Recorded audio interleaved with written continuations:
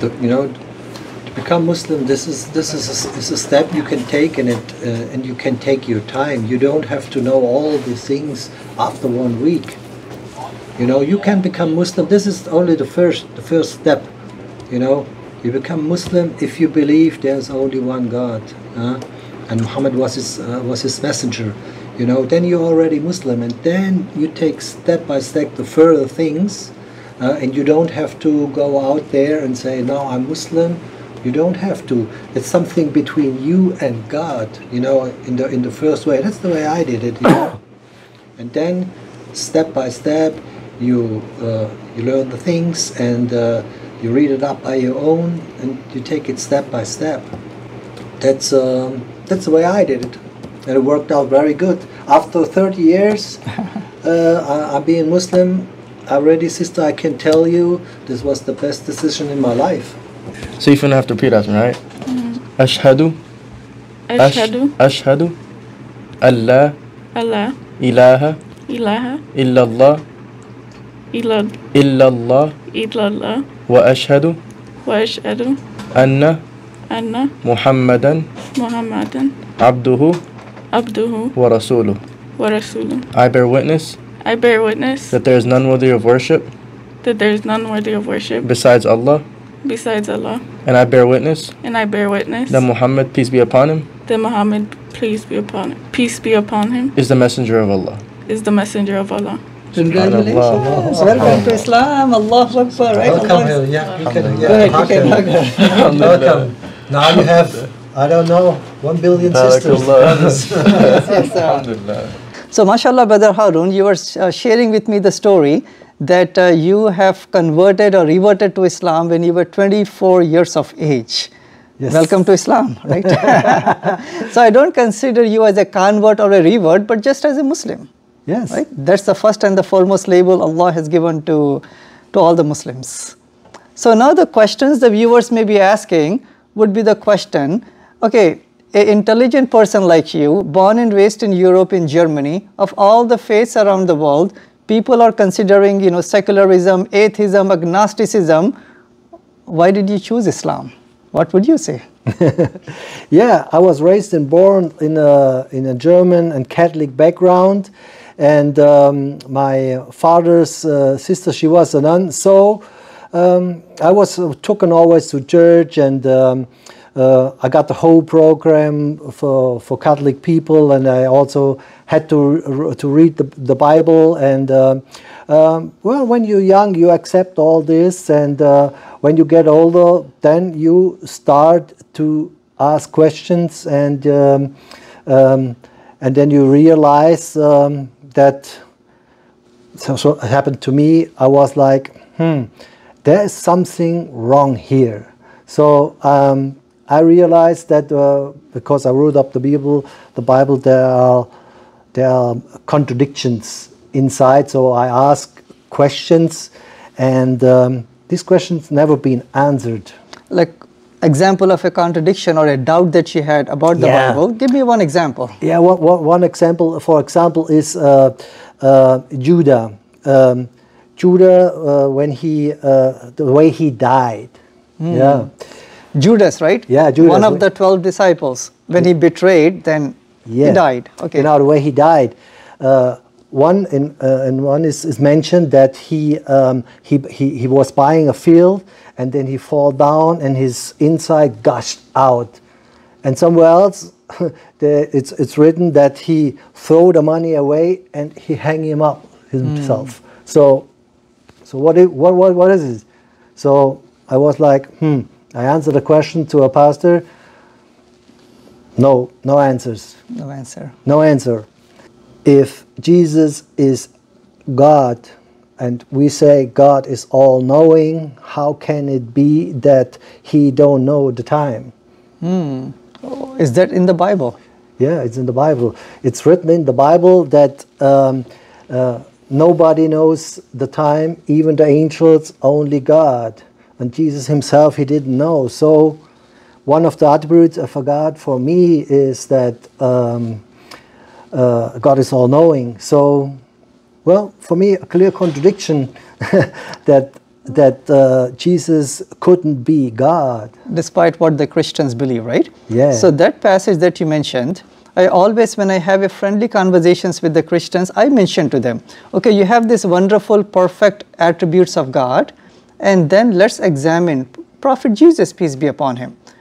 Did he had the attributes of being all-knowing, being all-powerful? He does not. And the example that you gave, this is in the Gospel of Mark, the second Gospel, Yes. chapter 13, verse number 32.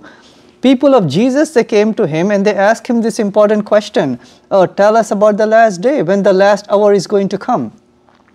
And Jesus, as a messenger of Allah, right, limited in knowledge, only Allah is all knowledgeable. Jesus, peace be upon him, he replied that of that day and of that hour, no one knows it. No human, no angel, neither the Son, but only the Father. So when he said the Son, that's in, that's in a metaphorical way.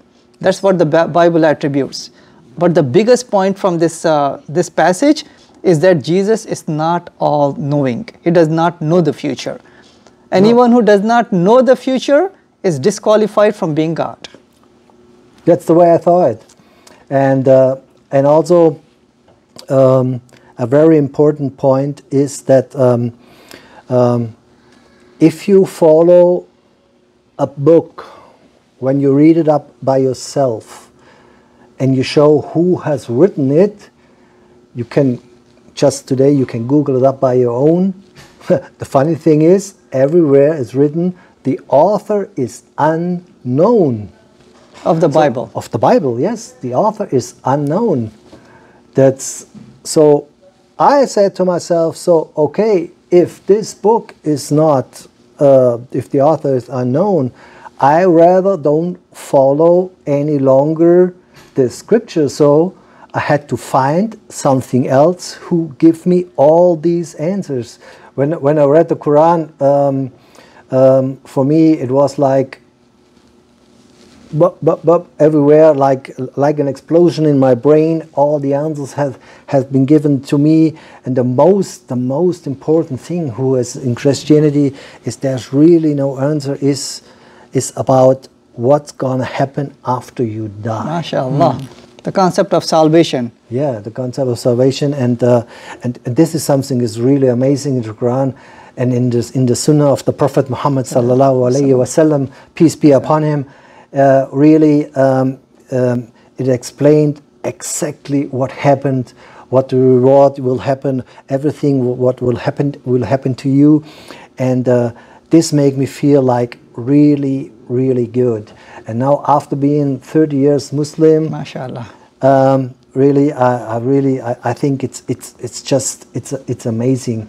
Um, it takes all away your fear and all away your your. your I'm not I'm not long uh, not uh, afraid of what will happen because there is a really there is a clearness. Yeah. The process is there. The process- It's not ambiguous, you know, I mean, it's all charted out. Before I was always like, oh, you you don't know what happened, and and and and and, and uh, you feel like uh, like really unsure because if you don't know what's happening in your life, uh, it makes you feel uncomfortable. So, what was the reaction from your parents, from your siblings, from your family? Yeah. Um, it's I think with all the converts the same problems is is the main problem is that we are afraid that what will our what will our uh, society around us our family what will they say but um, for me um, as I realized that uh, I will not leave my religion I will just complete my religion um, I wasn't afraid at all, and this was also to to my family was the explanation. I said, "Come on, what do you? What's the problem? I didn't leave the religion. Uh, I complete the religion, and I explained what was the what's what is all about about the, uh, the completing your religion, and so they really quite uh, uh, they, they they understood and um, uh, they accepted it very well. Okay. I mean, accepted means uh, that they embraced or they are in the, hopefully, you're sharing with them more. Yeah, of course. I was Okay. I, I was I was uh, I was sharing with himself. My mother, for example, she she she became she came became Muslim. MashaAllah, Yeah. congratulations. This is such a big news, MashaAllah, right? Still- it feels so nice. Our parents, our mother especially, You know, so there are so many non-Muslims out there who may have major misconceptions about Islam based upon what they see. Social media and Fox News and newspapers and radios and maybe it's actions of some not so practicing Muslims. So what advice would you give to those brothers and sisters of our you know, people of other faiths that why they should look into Islam? What would you say?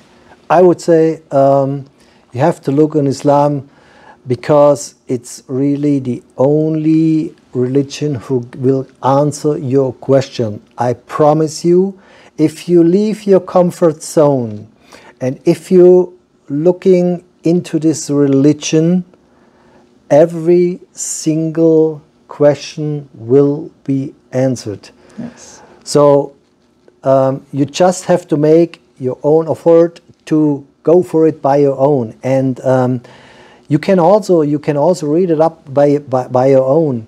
And um, my advice for everything who is who's out there, um, just give it a chance, try and go for it, and uh, you will be amazed that all the question you have is really there will be answered. I promise.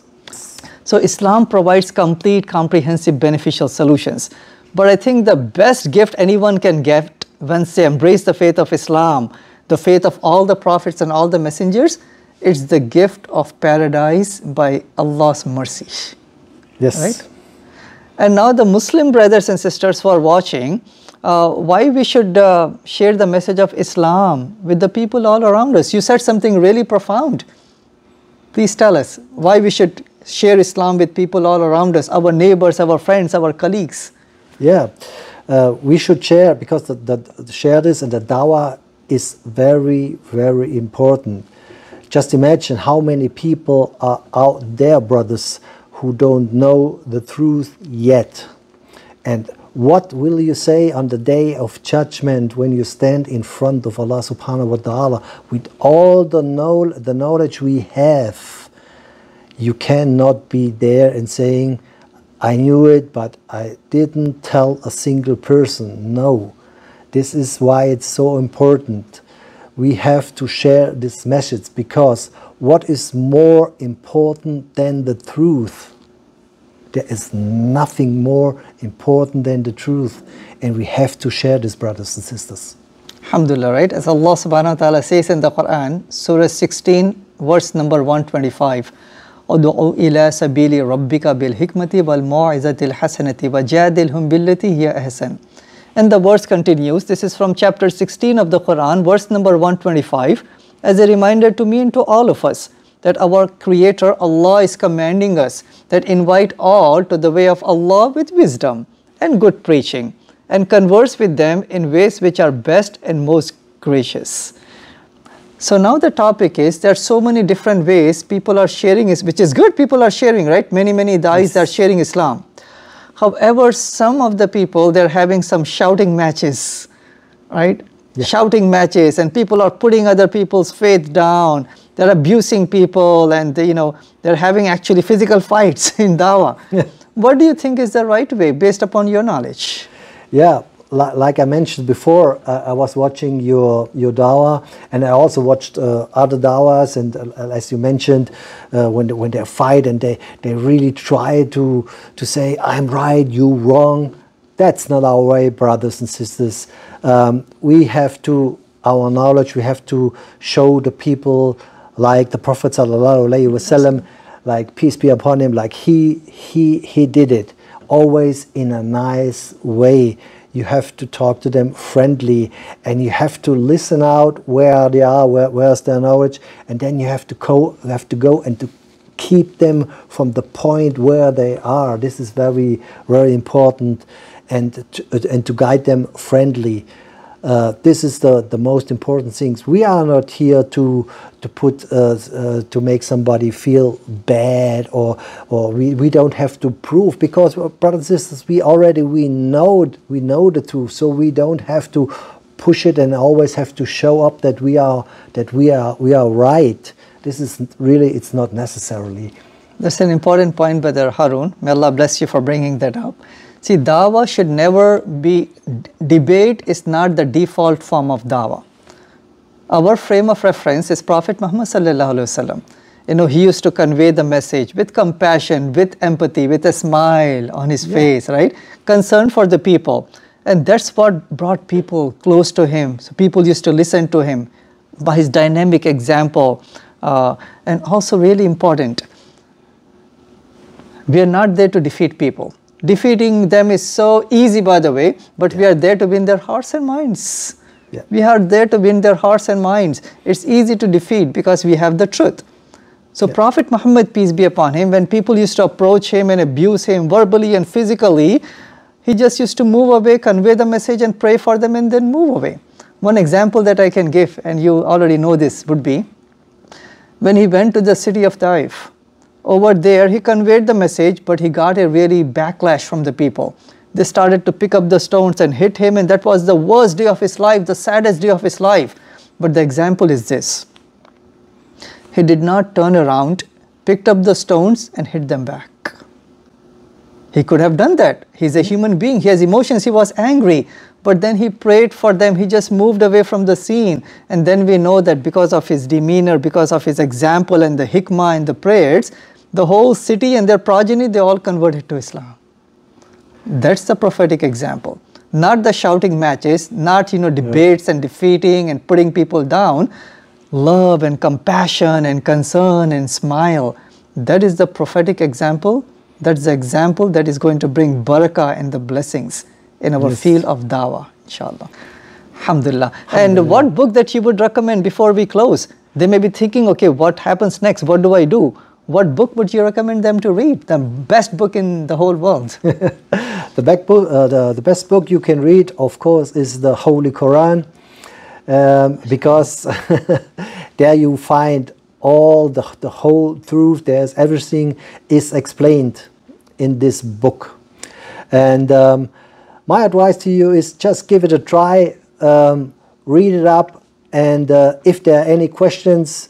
Uh, just go to your local masjid, um, to the people with knowledge, and I promise you they will answer your questions. Yes, inshallah, right? And obviously, if anyone would like to get a free copy of the Quran, they can give us a call 1 800 662 Islam, 1 800 662 Islam, or you can go to the website gainpeace.com. So, again, may Allah you know, keep on blessing you with the wonderful efforts of dawah, keep on encouraging other Muslims, keep on educating the non-Muslim brothers and sisters. So all of us by Allah's mercy, inshallah, we can go to eternal paradise. Welcome to Islam. Jazakallah khair, Brother Haroon. Assalamu alaikum wa rahmatullah, brother. Wa alaikum salam wa rahmatullahi wa barakatuh.